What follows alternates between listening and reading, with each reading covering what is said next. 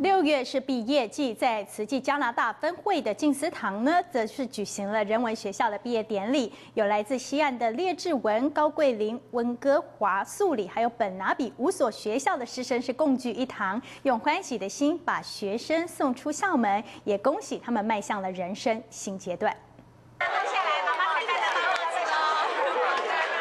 牵着爸妈、师长们的手走进幸福门。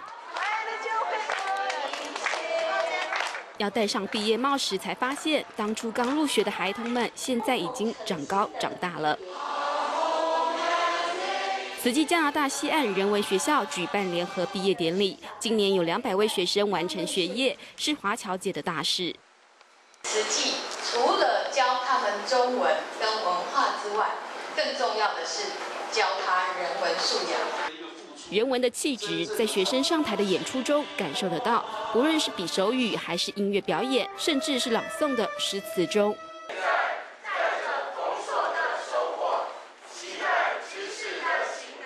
感恩的心不只是毕业生，还有一路陪伴的家长们。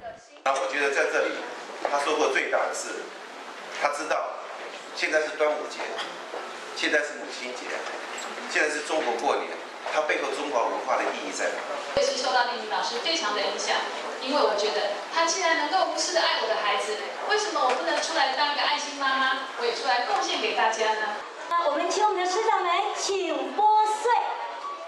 拨穗奉茶仪式之外，还有更深的意涵。他们的人生将迈向另一个旅程，在慈济所学到的，也将伴随左右。主动学习，然后对自己也很有责任感。